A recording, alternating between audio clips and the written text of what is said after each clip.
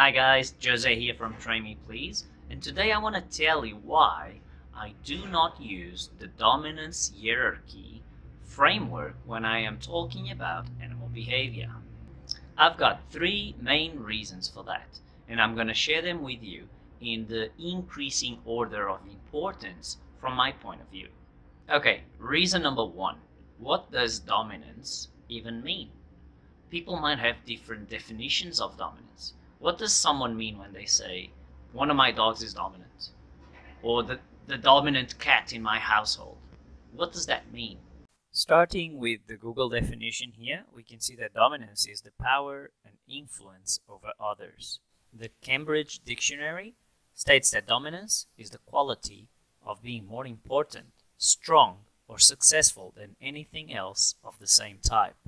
Dictionary.com provides an interesting animal behavior definition, in which it states that it is the high status in a social group, usually acquired as a result of aggression that involves the tendency to take priority in access to limited resources, as food, mates, or space. Now let's have a look at some scientific papers and other respected sources of information.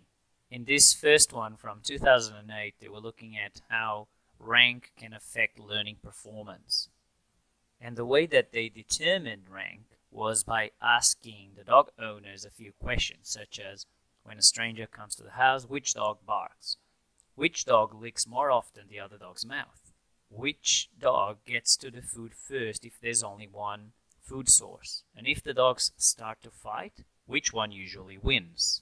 This one was about food competition and linear dominance hierarchy among chimps. For this one, the researchers looked at how they approached each other and what types of vocalizations they made when they approached one another.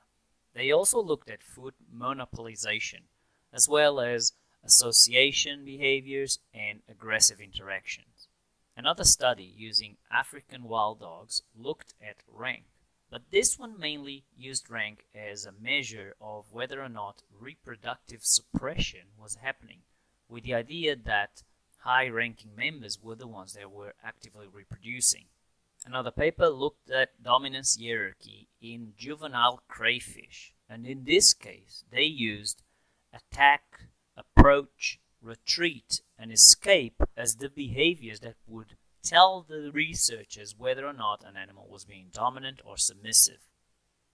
And finally, in this paper, in which the scientists looked at a variety of species, it is mentioned that it is an attribute of the pattern of agonistic interactions between two individuals. To make things even more interesting, have a look at this sentence here on a paper from 2009. They say in the present study of a freely interacting group of neutered male domestic dogs, pairwise relationships were evident, but no overall hierarchy could be detected. As we can see, the definition on dominance can be really tricky, can be really complicated. So whether or not we have a dominant animal or we are witnessing dominance or hierarchy or an alpha animal is really hard to be sure about. Reason number two is that animal training or behavior modification procedures based on a dominance approach can be quite dangerous.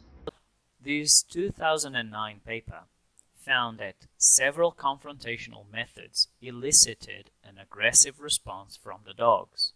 The authors also say that, in conclusion, confrontational methods applied by dog owners before their pets were presented for a behavior consultation were associated with aggressive responses in many cases.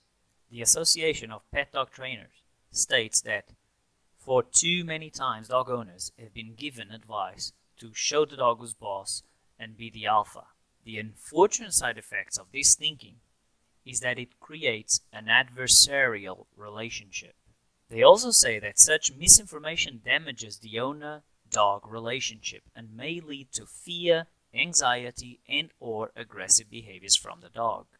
The Pet Professional Guild states that a dominance theory approach to animal training can damage the animal-human relationship and cause behavioral problems in the animal. They also say that the general pet owning public should be educated by organizations and associations on dominance theory and the many problems it can create for animals.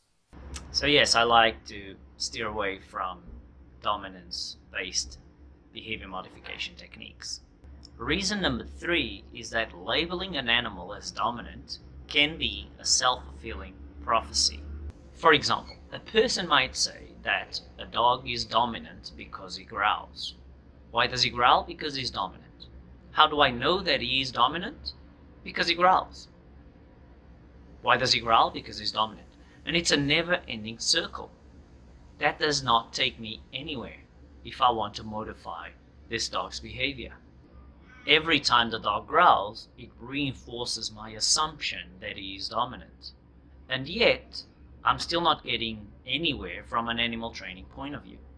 A much better option, in my opinion, is to not worry whether the dog is dominant or not, and to simply describe the conditions in which the behavior happens.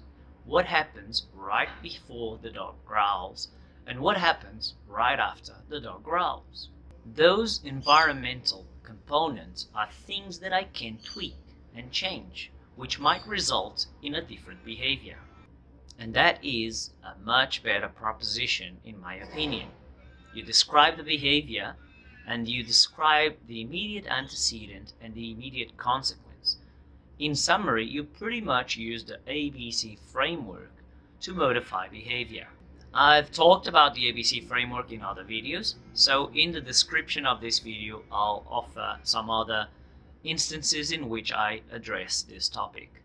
When we are using the ABC framework, we will look at a certain behavior and then determine the antecedent and a consequence around it.